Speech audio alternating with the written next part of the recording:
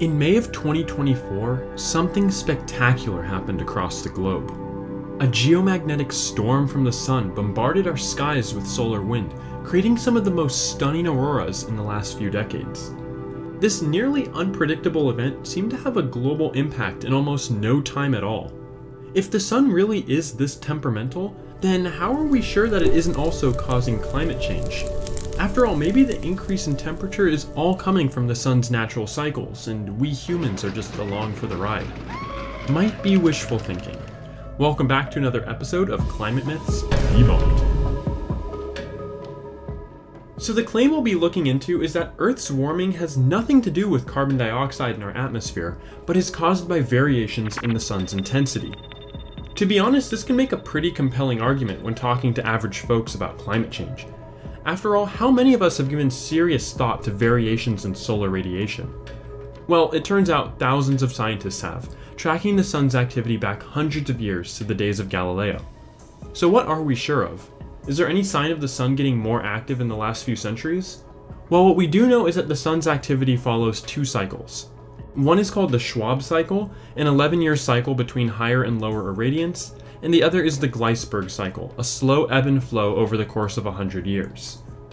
Together they form this slow, undulating heartbeat that causes the sun to pulse every so often.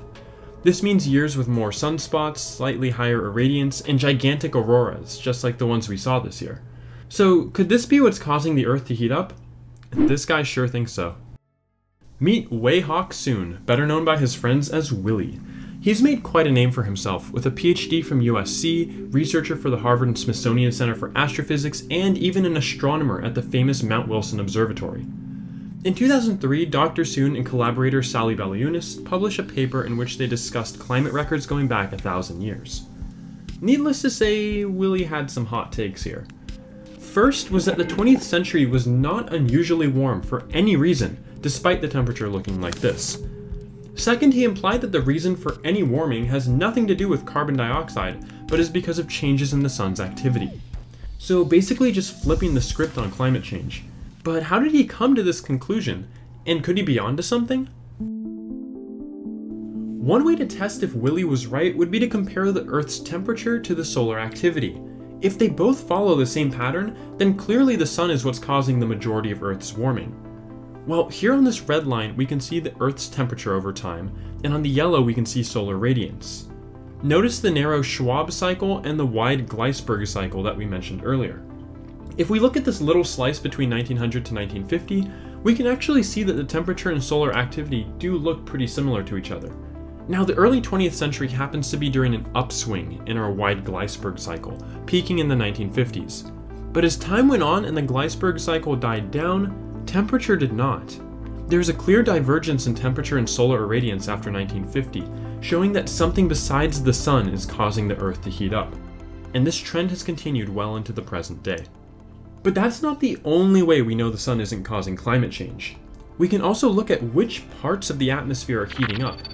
If the cause of global warming is the sun, as Dr. Willie implied, then as more sunlight comes in from space, all layers of our atmosphere would show the same warming trend.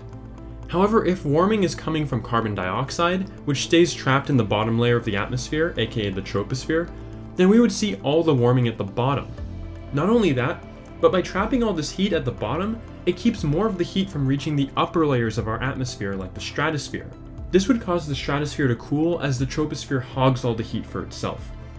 It turns out that's exactly what's happening, with troposphere temperatures rising 0.6 to 0.8 degrees Celsius between 1979 to 2018, and stratosphere temperatures dropping 1 to 3 degrees Celsius. So that covers everything. Seems like Willie is 0 for 2 on this one. But why would he say something so controversial in his 2003 paper? Oh, um, well, let's not look at who's funding this. Also, Willie Soon has been exposed for taking funding from such vested interests as the Koch brothers, the American Petroleum Institute, ExxonMobil, Texaco, and the Southern Company, totaling to $1.3 million since 2001. But despite being incredibly biased and totally inaccurate in his paper, it didn't stop his ideas from taking root. Once word got out about Willie's paper, it seriously ruffled some feathers in the scientific community. Many experts strongly disagreed with the results, questioning if the goal of the research was not to advance science, but instead to support the dubious positions on climate change of some prominent American politicians. And that is exactly what ended up happening. When the McCain Lieberman bill was proposed in 2003 to limit greenhouse gas emissions in the US, Senator Jim Inhofe, the very same Inhofe who threw a snowball on the Senate floor, cited Willie Soon in his argument against the bill. He made Willie's argument seem obvious, using it to tear apart the idea of limiting carbon emissions and stating publicly that solar irradiance and its variations seem highly likely to be a principal cause of long-term climatic change. The bill ended up dying in Senate. A couple years later in 2007, filmmaker Martin Durkin released his now infamous cable documentary, The Great Global Warming Swindle. In it, he made numerous false claims about climate change, including some fantastic hot takes like volcanoes emit more CO2 than humans, the ocean will absorb all the excess heat, and the warming trend we see in the temperature record is because of changes in the sun, building upon the now debunked paper that Dr. Soon helped write. This was the second springboard for this myth, reaching over 2.5 million viewers in its first day. And just like that, despite there being no evidence to support the claim that solar variations are causing climate change, people latched onto the idea in their heads. Nowadays, due to the publicity that this idea was able to gather, there are still people talking and posting about it. This is the real reason why it's getting so hot out. This myth, like many other myths about climate change, are incredibly easy to believe if you aren't really exposed to science about the sun. It also allows the believer to mentally shift the blame for climate change from human beings and their unsustainable habits to a celestial ball of fire that we have no control over. Why should I bike to work if climate change is all because Ra is in a bad mood? The sobering truth is that the sun is not what is causing climate change. The solar radiation hitting the Earth has decreased during the same period when temperature has been increasing faster and faster. We also don't see any warming of the stratosphere, telling us that the warming isn't coming from above us. No matter how many Willie Soons and Martin Durkins there are out there, they cannot change the reality that humans are currently having a bigger impact on the climate than the sun.